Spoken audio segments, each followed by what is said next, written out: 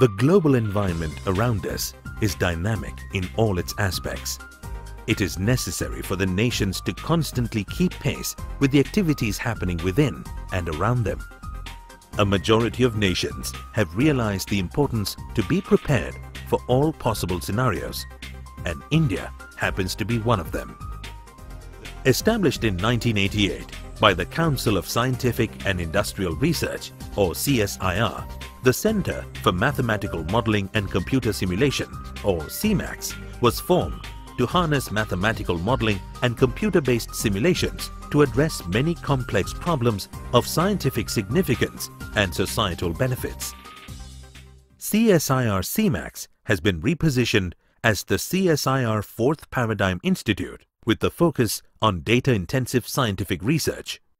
The HPC system Ananta installed at CSIR C-MMACS is currently the fastest in CSIR and is theoretically capable of computing a peak of 362 tera floating point operations per second.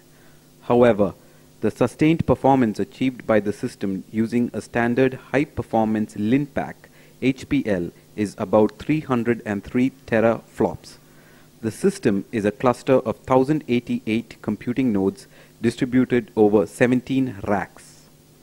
These nodes are connected to each other using high-speed FDR InfiniBand interconnect in a non-blocking fat tree topology.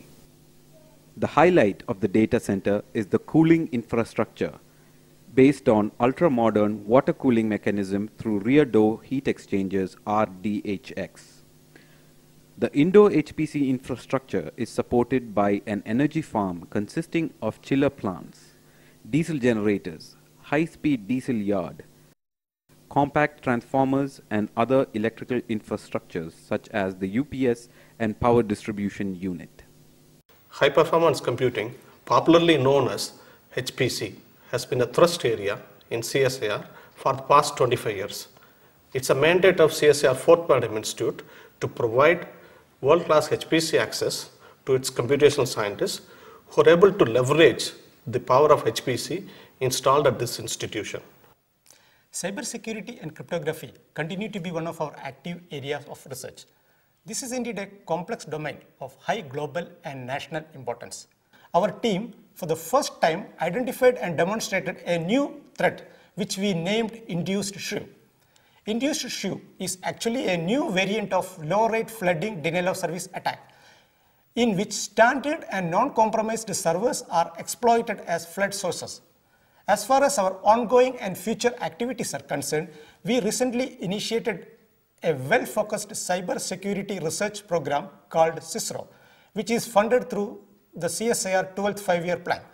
One of our most recent work is focusing on the fourth paradigm research, especially devising methods, techniques, tools and algorithms to handle big data and its analytics.